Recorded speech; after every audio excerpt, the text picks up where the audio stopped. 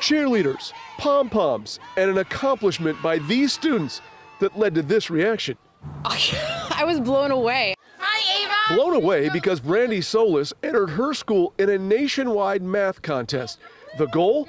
Answer more math questions correctly than more than 6,000 other California schools in one month.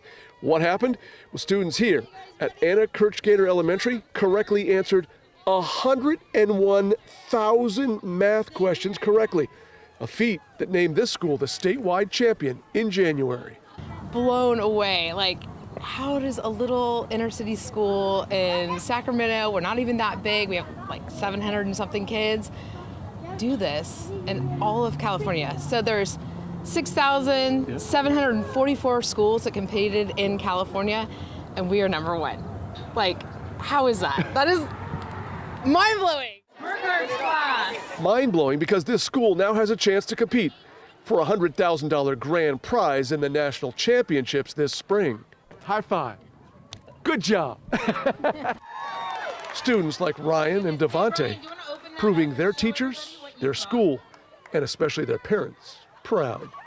This is like great. It's wonderful. He works so hard and tries so hard in school all the time, so I'm so proud of him. You know, I I didn't realize how big of an event this actually was. Proud, super, super proud, yeah. It is worth noting that the whole reason the teacher entered this school in that math contest wasn't the money, it was that she simply just wanted to motivate her students to do well in math. I'd say they're doing a pretty good job at Anna Kirchgater Elementary School. Mike TeSelle, KCRA 3 News.